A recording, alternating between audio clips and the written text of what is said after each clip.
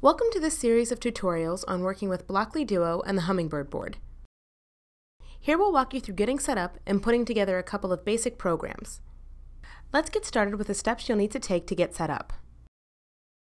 To use Blockly Duo, you will need to have either Firefox or Google Chrome installed on your computer. We recommend Firefox, as the plugin is easier to use.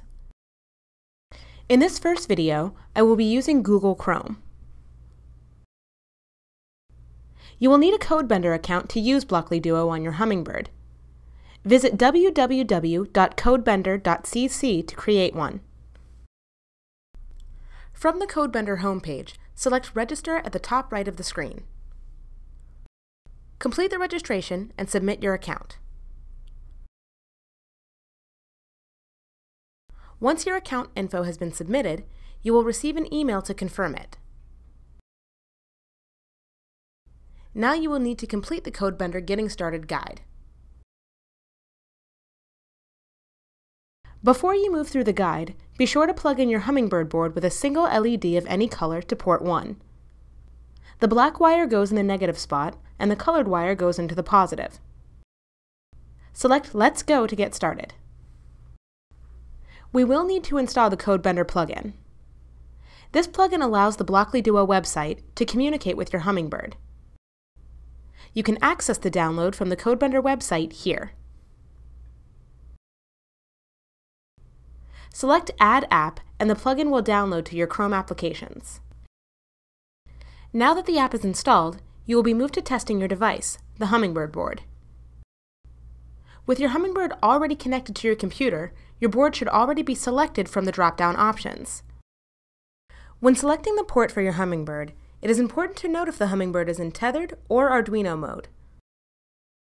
The Hummingbird board starts in tethered mode, so if you have never placed it in Arduino mode before, then it is in tethered mode. If the board is in tethered mode, the wrong port will be displayed or no ports will appear in the port selector. First, let's take a look at what to do if the wrong ports are listed. With a port selected, click Run on Arduino. You will then be prompted to conduct a manual reset of your Hummingbird board. On the back of your board, press the Reset button located near the USB port. Do not hold it down. A quick press should do the trick. Your board should now show the correct port, and it should have been switched into Arduino mode. The status light on your board should now be blinking on and off. In some situations, no ports are available to select. So, let's look at what to do in this case. With no port at all selected, you will need to conduct a manual reset. Click the Reset button on the back of your board.